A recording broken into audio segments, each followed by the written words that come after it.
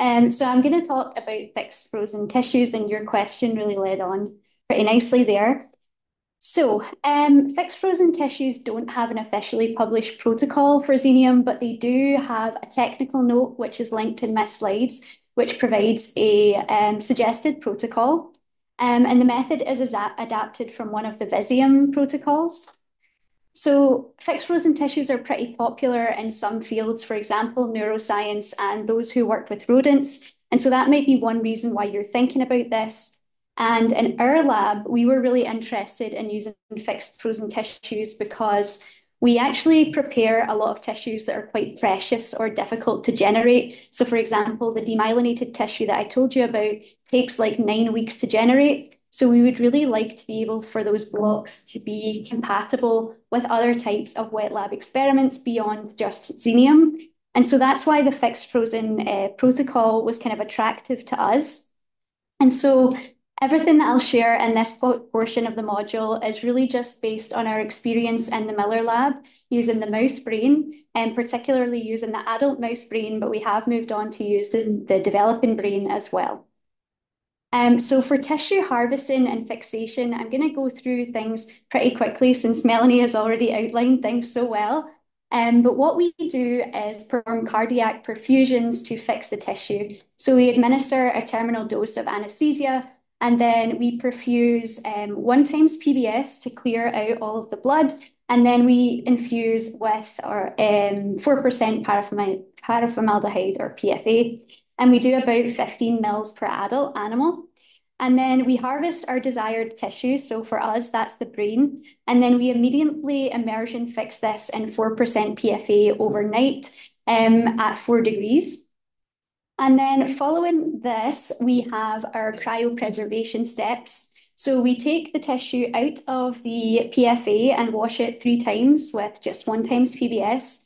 And then we do a sucrose protection gradient. So we immerse the sample fully in 15% sucrose solution at 4 degrees for about 16 to 24 hours or until the tissue sinks.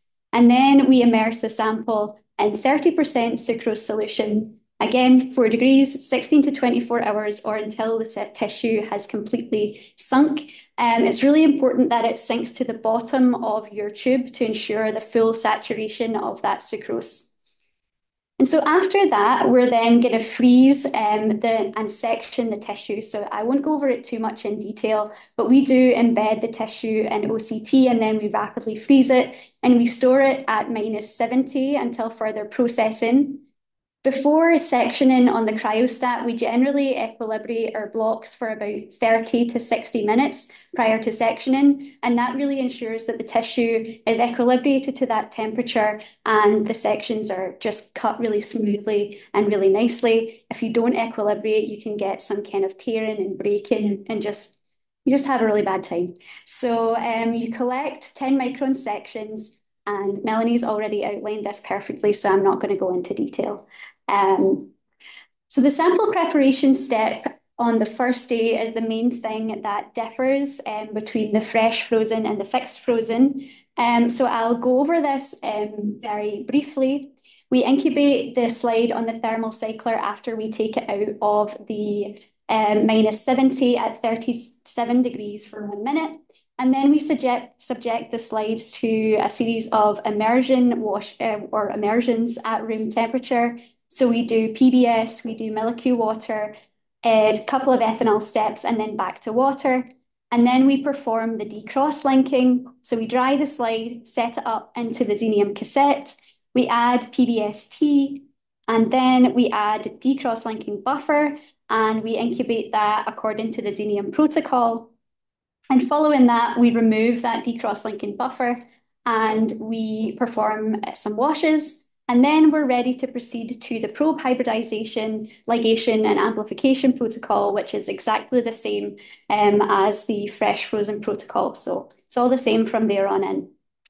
So I think probably the thing that people are most interested in and what's kind of most important is how the data are from the fixed frozen tissue, how they might compare with the fresh uh, frozen. And so what I thought I would do is try and show some comparison data um, to you so you can have an idea of this.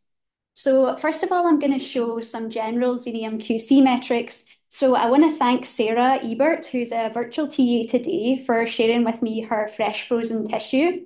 And I'm showing you some of my fixed frozen tissue here. Now, of course, these are brain sections. They're from quite different regions of the brain, but we were able to do kind of a rough comparison to see what sort of metrics we got. Um, so if we look at our median transcripts per cell, we do see a little bit less with the fixed, um, but we, as we move on, we're going to look at expression patterns across the tissue and see how that actually impacts our data. Um, if we look at some of the other metrics, we can see that we have quite similar percentages of gene tra transcripts that are high quality, um, both for the pre-designed genes and for the custom genes.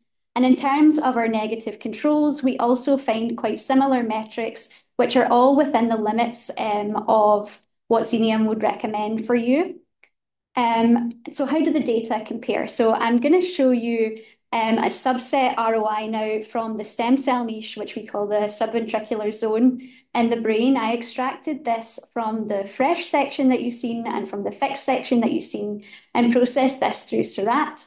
And so I'm showing you the data. This is the cluster in here on the UMAP, and I merged these uh, data together. And so I'm also showing you um, the fixed and the fresh coded here. So we can see a relatively good intermingling between the cells. We obviously have some quite distinct clusters uh, that are just present in the fixed or just present in the fresh. However, like I said, we were at quite different regions of the brain for these two sections, so we would kind of expect some differences. So what I'm going to focus on are cells that we don't expect to change across that um, rostral caudal axis. And so that's the microglia and the endothelial cells in our case. So you can see for both of these, there's quite good integration of the uh, data. And I'm going to just show you some quick heat maps that show some microglia signature genes. We can see this in the fresh and the fixed. We have maybe marginally lower expression of some of these core genes in our fixed tissues uh, compared to the fresh, but generally the patterns of expression are very similar. And again, that's the same for our endothelial cells as well. We have very similar patterns of expression. So just to summarize what I hope I've told you, um, and if I've gone too quickly, do feel free to interrupt me um, during lunch or whatever to ask questions. But a technical note uh, does exist for fixed frozen tissue, um, but it isn't officially supported by 10x. Um, the fixed frozen sample prep is very similar to fresh frozen with just a few adaptation, um, but they are the same from the probe hybridization steps. In our hands, we have seen some differences in the QC metrics, but overall, the fresh and the fixed frozen tissues yield data of very similar quality. We've been able to identify all the cell types that we would expect to in both tissues. We see similar patterns of gene expression, um, and so the data also integrate and merge relatively well. Of course, when you're setting up your experiments, you're going to probably want to have a consistent method of preparation if you're ever going to compare tissues or integrate the data. But I think it is a good thing to know that they do integrate well because it shows that the data are relatively similar. And so, with all that said, we are finally going to eat lunch.